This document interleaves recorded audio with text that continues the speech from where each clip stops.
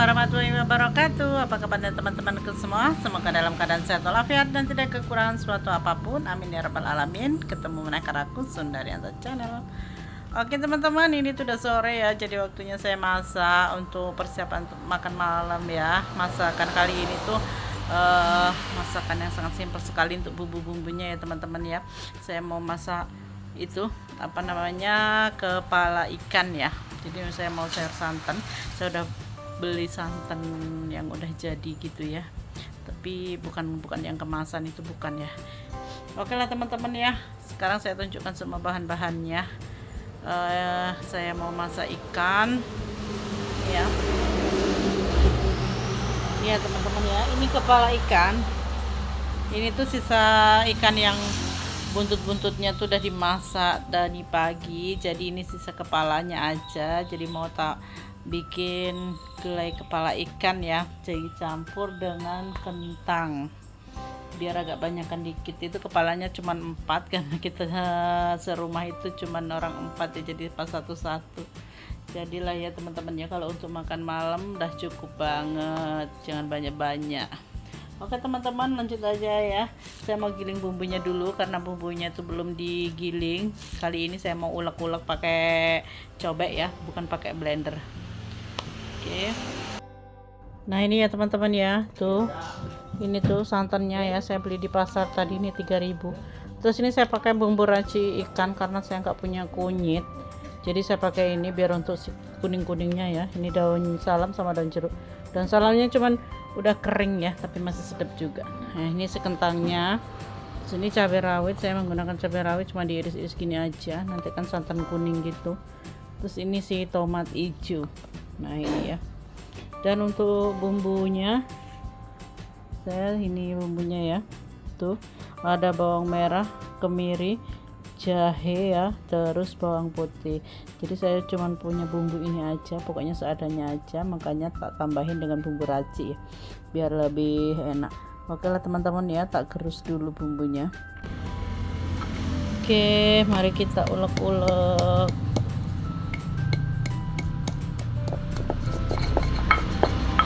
Kalau diulek tangan tuh sebenarnya pakai batu giling gini lebih sedap loh teman-teman ya timbang di blender. Cuman kadang-kadang kan lagi males. Jadinya di blender. Ini lagi rajin aja ya. Lagi rajin aja.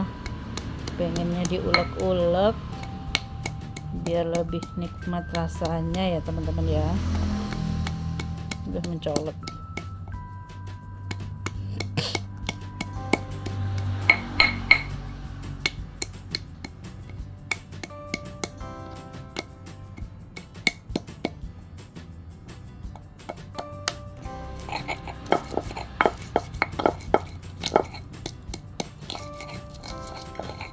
jadi kalau diulek tuh aromanya lebih wangi. Tuh baru digiling aja udah wangi banget aromanya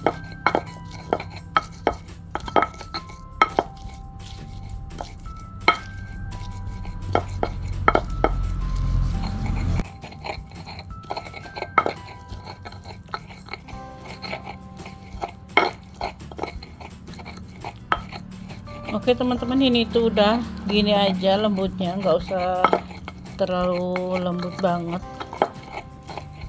Tuh udah cukup seperti ini aja. Lanjut kita proses memasak ya. Karena ini udah sore. Udah sore banget saya belum mandi. Ini masak dulu. Kalau udah mandi tuh suka males teman-teman masak bau bawang lagi ya. Keringetan jadi mumpung belum mandi langsung masak. Oke langsung ya teman-teman ya. Langsung kita masak. Ini udah tak siapkan wajannya kita gongso sebentar bumbunya biar lebih harum ya. Tunggu panas dulu. Oke ini udah panas. Jadi langsung tak masukkan. Oke.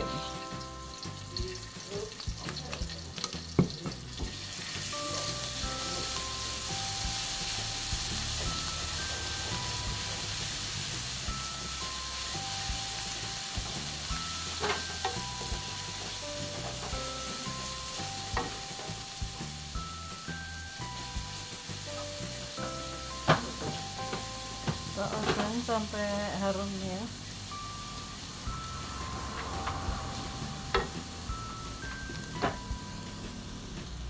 Ini sudah wangi jadi langsung kita masukkan ini bekas bumbu giling tadi ya.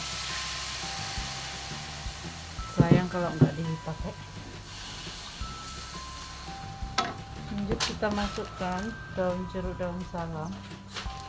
Untuk bumbu ininya saya masukkan ya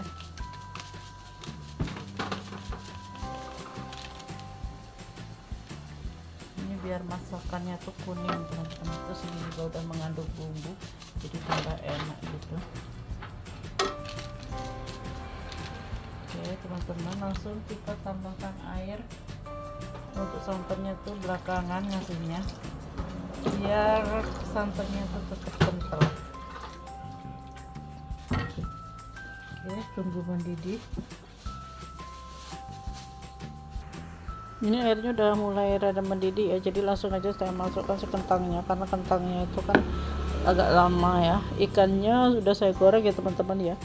Karena tadi pagi itu pas mau makan kayak kebanyakan gitu nggak habis. Jadi udah terlanjur digoreng. Tinggal dicempung-cempungin aja. Oke tunggu sekentangnya matang baru kita masukkan tomatnya belakangan.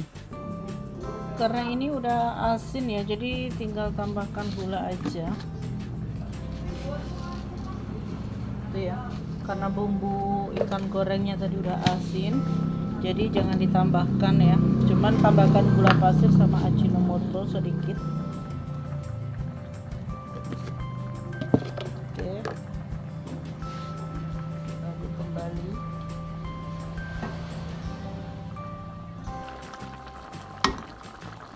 Ini untuk si kentangnya udah lumayan agak empuk jadi saya masukkan cabenya ya teman-teman ya cabai iris tadi. Terus kemudian si tomat.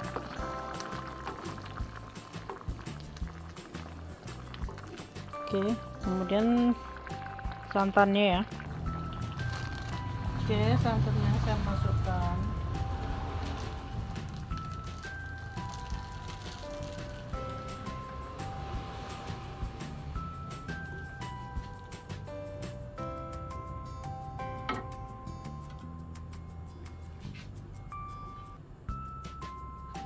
aduk-aduk kemudian masukkan ikannya.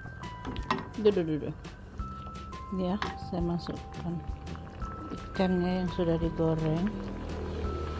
Tuh. Oke jadi inilah gulai kepala ikan.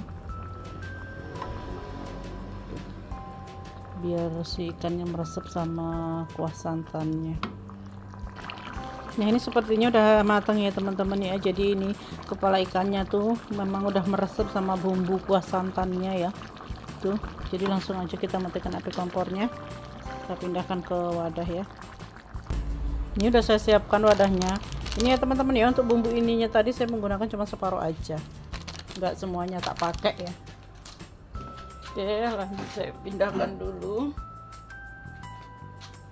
Bismillahirrahmanirrahim itu aromanya wangi banget teman-teman.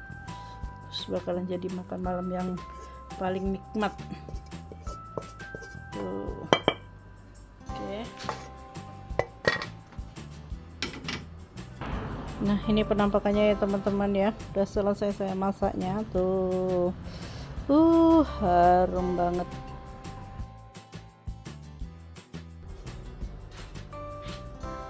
Oke teman-teman, mari yang belum makan, eh, yang mau makan malam monggo ya, tuh bisa datang. Tapi sekarang ya kalau besok-besok udah di sini.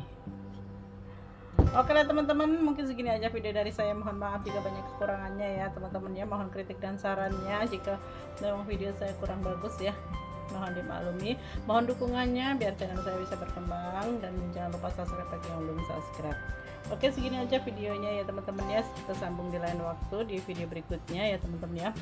Oke saya akhiri. Wassalamualaikum warahmatullahi wabarakatuh. Sampai ketemu di video berikutnya. Bye bye sampai jumpa lagi ya. Oke tinggal ini bersih-bersih lagi mau mandi terus. Nanti sebentar lagi ini juga udah mau maghrib. Tinggal sholat maghrib terus makan. Oke